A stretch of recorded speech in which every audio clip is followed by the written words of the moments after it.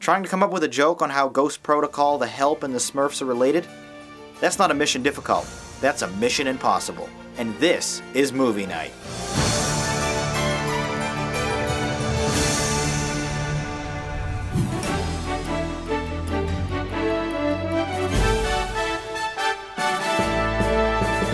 Hello and welcome to Movie Night, the interactive weekly movie review show right here on YouTube. I'm your host, Jonathan Paula. Unavoidable computer issues resulted in my missing last week's episode, which is why tonight we'll start off with a bonus review of the brand new, just released Mission Impossible 4 Ghost Protocol. Released today on IMAX screens and nationwide next week on December 21st, MI4 is the third sequel to the hugely successful live action adaptation of the classic 1960s CBS TV series. Tom Cruise returns as IMF super spy Ethan Hunt, whose surprise has once again been disavowed by the American government that employs him, forcing him to stay off grid and hunt down a Russian terrorist hell-bent on starting World War III with stolen nuclear launch codes. Joining him on his globe-trotting action-packed search for the bad guy is Jeremy Renner, Paula Patton, and Simon Pegg, reprising the tech nerd role of Benji from the previous film. The stakes have never been higher for the gadget-loving IMF team, but gone are the personal threats against his wife from MI3, replaced instead by a cold urgency to prevent an atomic war, which is perhaps the film's only misstep. Removed is the context of a personal life from the earlier films. Hunt's character receives little backstory here.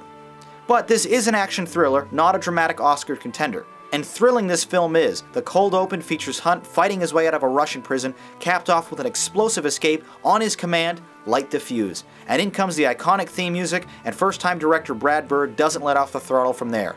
Utilizing some incredibly imaginative and uber cool tech gadgets, Hunt and his team make the best of the exotic locations they visit, including a Spider-Man-esque climb up the world's tallest building, the Burj Dubai. Made even more impressive when you learn that Cruise himself performed the act without a stunt double. This operation's over before it even begins. I'm telling you, we can get to it from outside. We?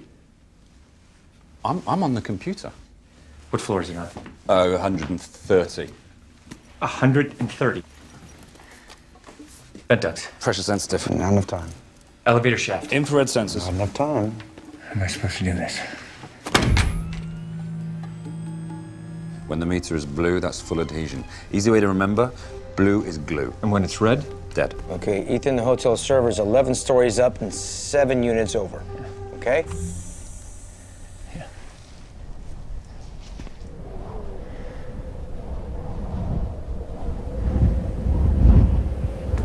Other tricks include magnetic chainmail that allows its user to float, chasing enemies through an Arabian sandstorm using close-range GPS, and an advanced projection screen that Hunt uses Wily. Coyote style to give Kremlin guards the illusion of an empty hallway. The spy work is fun, clever, and inventive. A scene where the IMF team has to fake a meeting with two bad guys simultaneously resembles some of the best elements and misdirection from your favorite heist films. Meanwhile, the action and chase sequences are explosively pulse-pounding, brought to life by a wonderful score from producer J.J. Abrams' longtime collaborator, Michael Giacchino. The stunts, although ridiculous, are refreshingly routed in a world of realism, unlike the previous installments where flying a helicopter through the channel was a commonplace occurrence. Maximizing all of the impressive advantages of the giant IMAX frame, Bird does a fantastic job of filling every one of them with exquisite detail and emotion. Rarely does the viewer lose sight of the action on screen. Like all great blockbusters though, Ghost Protocol never takes itself too seriously, with just enough breaks in the battle to make you smile at some of the more lighthearted moments. When operating undercover using the names of celestial bodies as codenames, Benji quips, why do I have to be Pluto? It isn't even a planet anymore. Tom Cruise is no stranger to loud, big budget films, but this is perhaps his best ever to date. Ghost Protocol, a thrilling and adventurous showstopper. Well, that was my review. Now let's read some of yours from the few of you who saw it on opening day.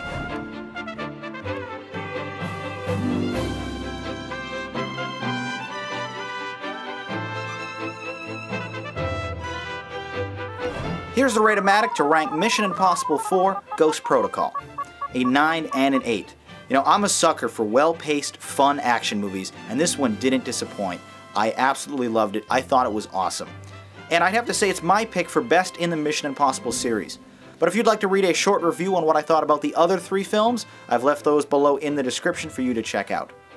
Now, for those who had a chance to see this film on opening day, many of you really liked it. You praised the high wire stunts and the intense action, being able to overlook some of Tom Cruise's bizarre personal life choices. You scored the film a great. Our second film tonight is the highly acclaimed The Help. Released on August 10th, this comedy drama film adaptation of the popular Kathryn Stockett novel was a surprise hit this fall when it earned nearly eight times its $25 million budget. Already an early shoe in for Oscar nominations, The Help stars the very busy Emma Stone, Octavia Spencer, Bryce Dallas Howard, Sissy Spacek, Allison Janney, Mary Steenburgen, and Viola Davis in a terrific leading role that'll surely net her the Best Actress trophy come February.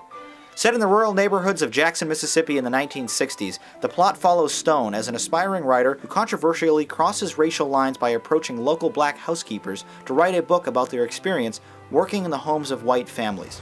I want to interview you about what it's like to work as a maid. I'd like to do a book of interviews about working for white families.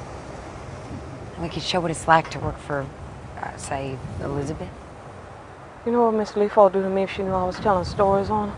Well, I was thinking that we wouldn't have to tell her. The other maids would have to keep it a secret too. All the maids.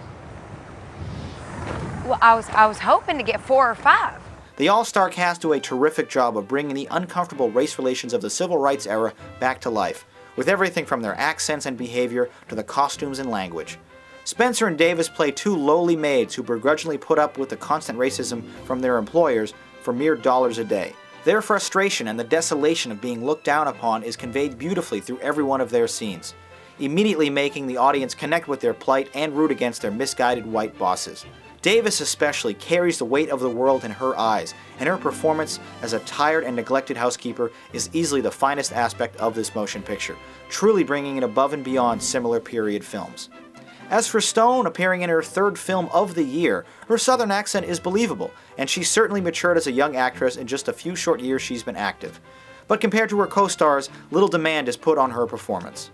The cinematography is slow and precise, deliberately letting all of the actors fill the screen with the necessary emotion, but never close enough that you'd miss out on the wonderful sets and location that genuinely feel like the South in the 1960s. The writing is funny, realistic, and meaningful, carrying plenty of messages of hope and perseverance that'll surely encourage even the most intolerant of viewers to open their eyes a bit. The notable exception here is the portrayal of nearly every white character in the film, who, save for Stone, are all painted with a very broad racist brush, few of them showcasing any moral reservations about how they're treating the nice women taking care of their homes and children.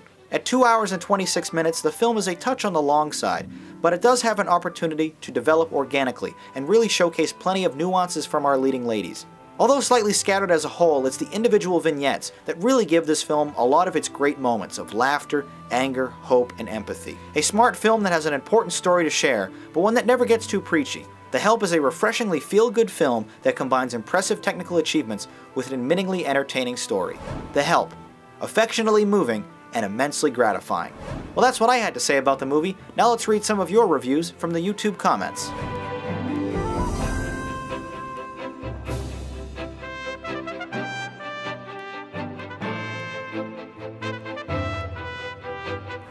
In comes the Rate-O-Matic to rank The Help. An 8 and a 9. This film was funny, interesting, touching, sad, but besides the amazing acting, there wasn't really anything over the top here though. I did think it was a solid great. You adored the film, calling it everything from beautiful to inspirational, scoring it an awesome. Our third and final film tonight is the live action CGI blend adaptation of the cartoon series, The Smurfs. Grossing a surprising $560 million, this family friendly 3D comedy was released on July 29th to lukewarm reception. After all, no one really asked for a modern day remake of the classic animated TV show that ended over 20 years ago. But like most Hollywood ideas, if it sells, it gets produced. Finally taking the sizable leap from TV star to movie star, Doogie Howser himself, Neil Patrick Harris, stars as your everyday generic New York businessman, who of course has a big work deadline coming up that's causing him to be stressed out. Matters worsen when our Smurf friends, in an attempt to escape the evil sorcerer Gargamel, their arch nemesis, accidentally travel through a portal, taking them away from the tranquil sing-along beauty of Smurf Village to the loud and noisy realm of downtown Manhattan. Missing from this simple and rather adorable film is the fish out of water transition scene for either Harris's character or the Smurfs. Neither party seems particularly concerned or amazed by the existence of the other, even if they do briefly try to kill each other when they first meet.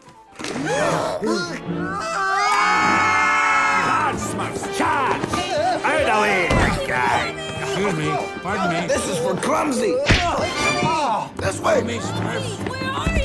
Oh, other way. Other way. Run, Smurfs. Come on. Run. Hell way. Mumsy, where the Smurf are you? Grace! Run! Stop bleeding like a sheep and let me hog tie you, you wriggly nuff! Grace! We're being attacked! Do not be fooled by their cuteness! The interplay between the human actors and their two apples tall CGI counterparts is surprisingly impressive, save for a few moments when direct physical interaction is called for. That's when bad memories of Space Jam and Who Framed Roger Rabbit come rushing back. Obviously written for children of all ages to enjoy, the plot is an uncomplicated one, with nothing getting way of its predictable conclusion. There are some more heartfelt messages here and lessons to be learned, but on the whole, The Smurfs is just a playful romp from everyone's favorite blue friends exploring the big city. Traveling by way of taxi cab roof, our fearsome Smurfs use the camouflage of their surroundings to keep from being spotted, cleverly hiding up against an ad for the Blue Man Group. Besides slight chuckle-inducing jokes like that one, there's not much here for adults with the funniest humor coming from Hank Azaria's over-the-top makeup-covered portrayal of the bumbling Gargamel, who finds himself on the receiving end of at least a dozen pratfalls and slapstick punchlines. This is a friendly, innocent, and delightful film kids will really enjoy. But for those of us older than 10, there isn't unfortunately much here to classify this as a good film. That said, it's far from bad either. Just another boring, dime a dozen film from the remake or adaptation department in Hollywood. The Smurfs. Family friendly laughs, but dull. That was my review, now let's read some of yours from the YouTube comments.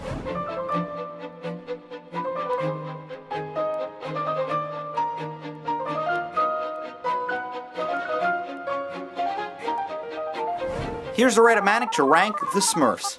A 5 and a 4. This is a film that I enjoyed, but it's doubtful I'll ever enjoy it again. Or recommend it to anyone that's actually graduated from grade school. I thought it was alright. You accepted the film for what it was, recognizing some of the better elements as well as the humdrum plot. Your reviews averaged to a meh. That does it for tonight's film reviews though, so now let's take a look at what's currently playing in theaters, besides Ghost Protocol, with some of your tweet critiques.